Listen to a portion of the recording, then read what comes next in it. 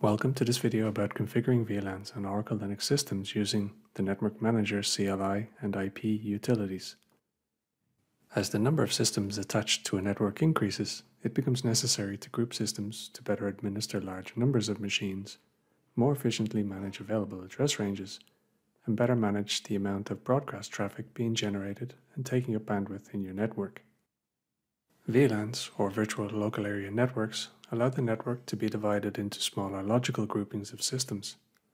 A VLAN is multiple machines separated into a logical group that can communicate as though they are attached to the same network, regardless of their actual physical location on the broadcast line.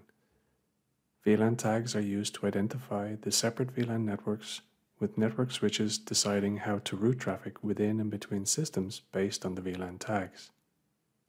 So let's go to the terminal of our system and create a VLAN interface. In this demonstration, we are using an Oracle Linux 8 system created in Oracle Cloud Infrastructure. We will first create a VLAN interface using the Network Manager CLI or NMCLI command, and follow that by creating a similar interface using the IP command. Note that VLAN interfaces created with the NMCLI utility will still be present after a system reboot. However, VLAN interfaces created with the IP command do not persist after a reboot. First, let's view the current network interfaces on our system with the sudo nmcli device command. We see there are four devices, ENS3, 5, 6, and 7, with ENS5, 6, and 7 currently unused and disconnected. We will use some of these as parent devices for the VLAN interfaces we will create today. With the command sudo nmcli connection add type VLAN, we create a VLAN connection named VLAN10-con with an interface name VLAN10-if, which uses the Ethernet device ENS5 and tags its traffic with the VLAN ID 10. Note that the VLAN ID must be within the range of 0 to 4094. Looking at the NMCLI device list again, we see the new VLAN 10-if device and connection called VLAN 10-con.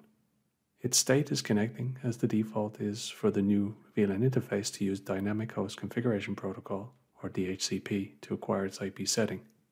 Viewing the new connection information with the sudo nmcli connection command, we also see its UUID. Next, we want to manually configure an IP address for the VLAN device. If we want to use this VLAN device only as a port for other devices, we would not need to set an IP. When configuring manual IPv4 address settings, we can set a static IPv4 address, network mask, default gateway, and DNS server to the VLAN connection. In this demonstration, we will only assign an IP address. We set the IP address with the command sudo nmcli connection modify and use the IPv4.addresses option.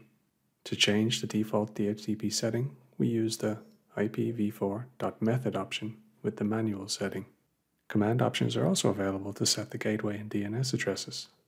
Note that similar options are also available to set for IPv6 address options.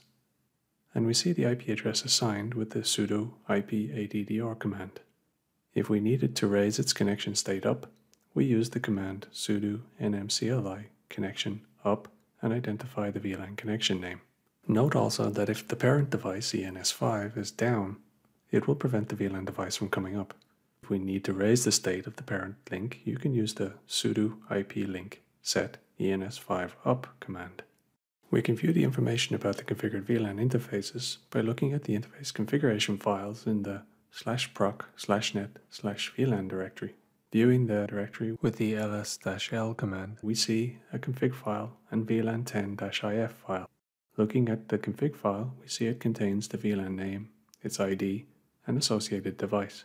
Looking at the contents of the VLAN10-if file, we see counts for transmitted and received frames in bytes, and any traffic priority settings for the traffic in and out of this device. With the VLAN created, we can now look at removing a VLAN interface. First, deactivate the connection by setting its state down with the sudo nmcli connection down command. We verify the connection is down with the sudo ipaddr commands, which show the device not listed anymore. The IP interface is gone, but the connection information is still present, as we see with the sudo nmcli connection command. We delete the VLAN connection with the sudo nmcli connection delete command and verify again it's been removed with the sudo nm CLI connection command. Now we will use the IP command to create a VLAN interface. Note that VLAN interfaces created using the IP command do not persist after a reboot of the system. Run the IP link command to identify the existing network devices. We create the VLAN interfaces using the sudo IP link add command and set the physical device used as ENS6 this time. The interface name as VLAN 11-IF and the connection type as VLAN and set a VLAN ID of 11. Rerun the IP link command to view the new device. This time we assign the IP address to the interface with the sudo IP addr add command, set the address and mask, and identify the configuration to be for the new VLAN interface. We raise the state of the VLAN interface with the command sudo IP link set VLAN 11-IF up. We verify the connection is up and has an IP address assigned with the commands IP link sudo nmcli connection and IP addr. To delete the VLAN using the IP command, we first set the state of the device down with the command sudo IP link set VLAN 11-IF down and run the sudo IP link delete command to delete the VLAN interface.